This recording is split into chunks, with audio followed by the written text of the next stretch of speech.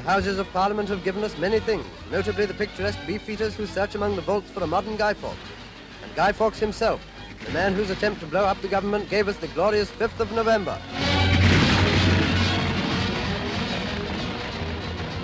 Guy Fawkes Night was celebrated in no uncertain manner at Edenbridge, Kent, with a show which attracted sightseers from miles around.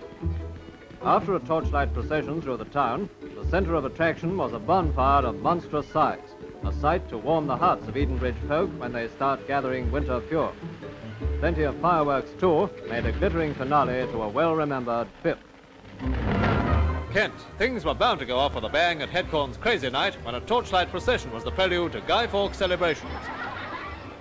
Enjoying her golden reign as Carnival Queen was Miss Barbara Standing, while film star Belinda Lee was the guest of honour.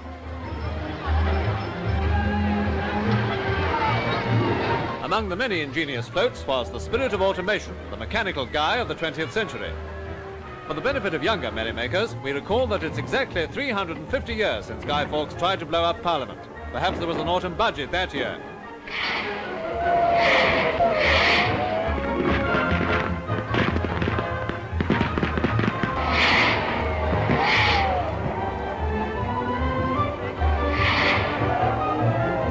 After the firework display, claimed to be the biggest ever seen in the Weald of Kent, Belinda Lee lit the giant bonfire.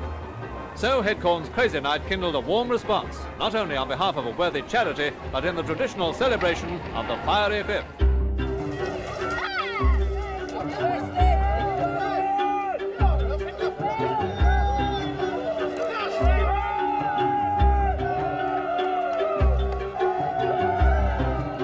Exhilarating. You get all these dangerous sports of bungee jumping and that, and we just do it. We just get tar barrel rolling.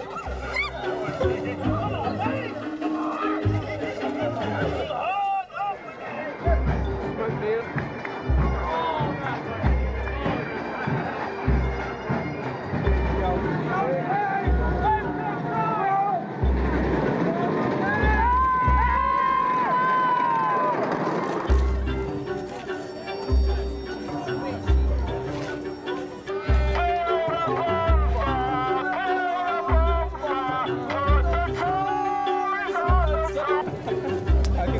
if you're just joining us, we are. It's always a bit of tongue in cheek, it's a bit of a laugh, isn't it? Uh, but yeah, I reckon maybe we need Guy Fawkes to maybe sort out Parliament. What do you reckon? Because nothing else has worked.